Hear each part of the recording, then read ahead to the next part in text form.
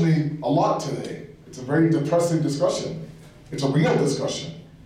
And we are in darkness, there's no doubt about it. Everyone across the board, the human being right now is in utter darkness. But the flashlight is with us, is, is with us. We have the light. Because I'll tell you, the moment he turned out that he turned on that light, every other kid turned off their flashlight. And his light was enough to lit the path of all of us. So while we search for our lights, we have to understand that one of the flashlights that we have is named Hussein ibn Ali. Subhanallah, mashallah. Now, our job, and I'm very grateful to Hussaini, uh, Hussaini Association of Calgary for doing this, because I've always said that we as Shias have done a grave injustice to Imam Hussein by keeping him within our own four walls. I say wherever I go that he is not our Hussein, he's everyone's Hussein. Right?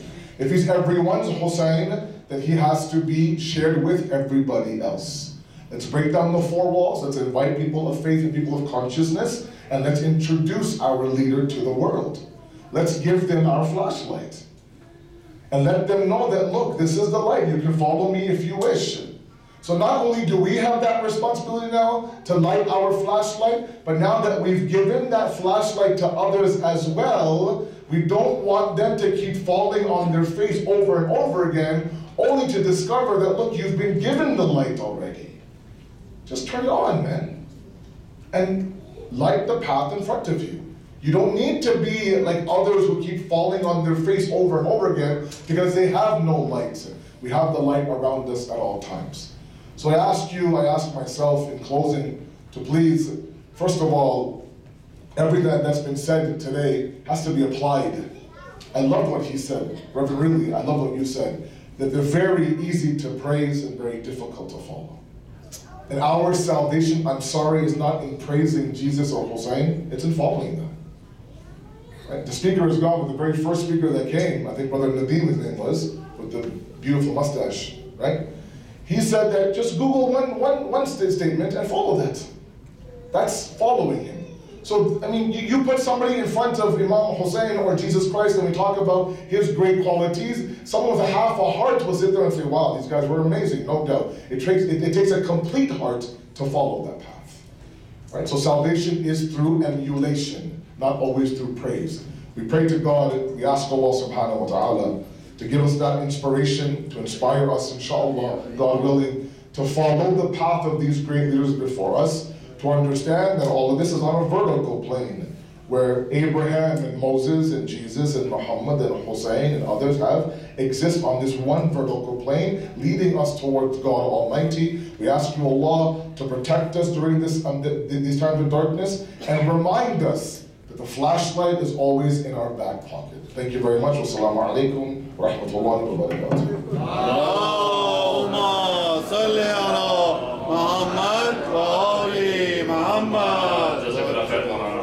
Um, I would like to now take this opportunity to thank all of the speakers, all of the guests, the organizing committee, all of you for taking time out of your busy schedules on a Sunday to attend this seminar. Like Maulana said, that hopefully all of us are walking away with something um, something about from the message of Imam Hussein, the event of Karbala, that we can reflect on our lives and implement it on a daily basis.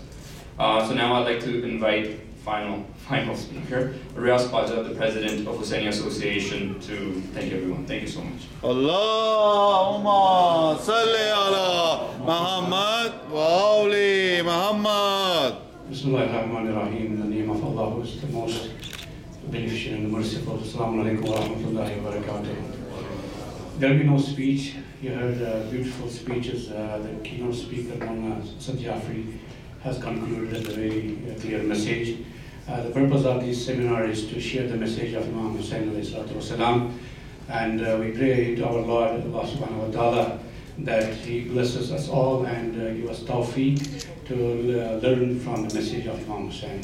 I would like to thank on behalf of Hussaini Association of each one of you, all my sisters, brothers, uh, kids, my elders, uh, for coming and taking their precious uh, this uh, time from your precious time to attend this seminar. And I would like to thank our respected guests, Mr. Janab Gilani Saab, uh, Yasin Saab, Irfan Saab, and my friend uh, Dave Holmes. He has been always on time. I know he has been waiting here for a couple hours. I think he's used to it now because our Pakistani culture, we are always late. So we started late, so I thank once again all of you for attending this seminar. Inshallah, uh, uh, just an uh, announcement that our uh, guest speaker will be uh, with us uh, for next uh, couple of days at Hussaini Association of Calgary, 3477 34th Street. If you don't know the address, you are most welcome. And that uh, is uh, open to all faiths, and the doors are open always for anybody else. They can attend our programs, and uh, if you would like to benefit uh, from the learned scholar, the speech will be in English for tonight, tomorrow night, and then Tuesday night. Everybody is welcome to attend the speeches. Once again, I would like to thank all the volunteers who have uh, made this event uh, successful. It's a success because we have discussed the savior of humanity and we hope that we learn from this message, inshallah. Once again, thank you all. May Allah bless you all. Wassalam. Allahumma salli ala Muhammad wa ali Muhammad. Uh, there will be a group photograph uh, for, uh, taken here. I would request uh, everybody please join. Um, Janab Abdulani Saab, Maulana Asad Jafri Saab, Dave Holmes, please we have a group photograph and that will be used for the, our Hussainia interfaith uh, harmony.